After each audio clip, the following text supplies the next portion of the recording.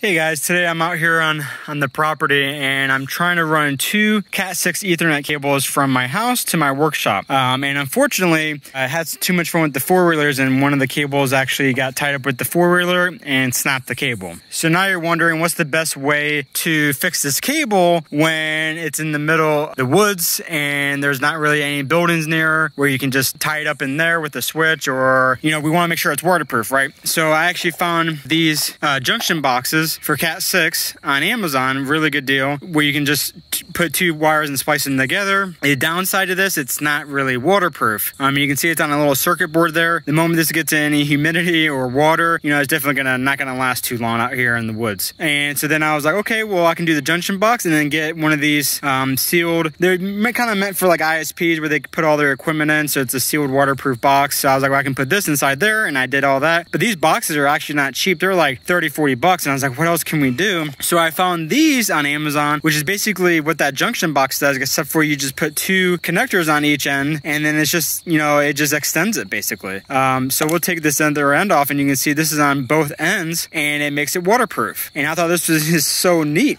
Even nicer about these things is, um, let's say you already have your ends on and you're like, well, how am I gonna add this thing on here when I gotta go through that small hole?